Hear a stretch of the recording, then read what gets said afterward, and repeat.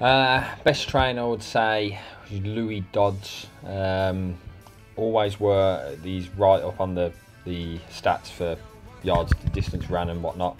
Um, and some of his finishing is really, really good. So Louis Dodds. Probably I'm looking between Deegs and Abs in terms of um, Deegs has definitely got the strut of a hard man, and Abs he comes from the hood, so he's you know he's he's ghetto hard man. So one of one of those two.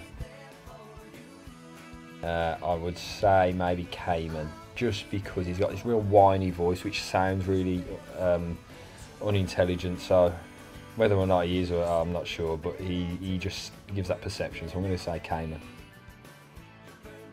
Uh, same answer, Cayman. Uh, I'm not going to go into that, but he's yeah in the shower longest for sure. I don't want to say anyone annoys me. Uh, so now, now, now we've got a good squad of play. I'm going to be diplomatic. Now uh, there isn't anybody who's annoying anymore.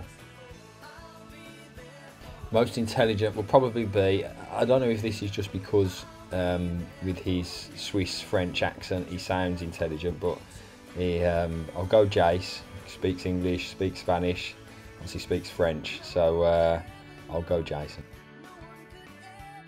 I'd say ads Elad, but I'm not sure if he fancies doing that.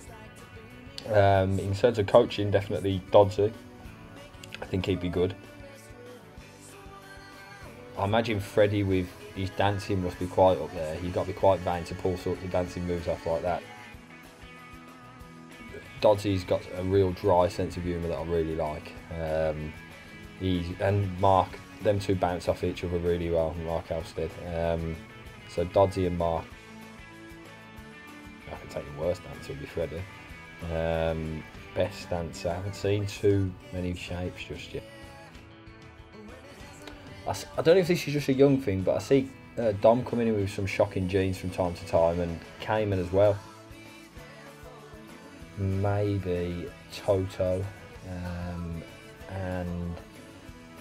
possibly um, possibly Abs. I'm not really buying into what Abs plays in the car in the morning, so yeah, those two.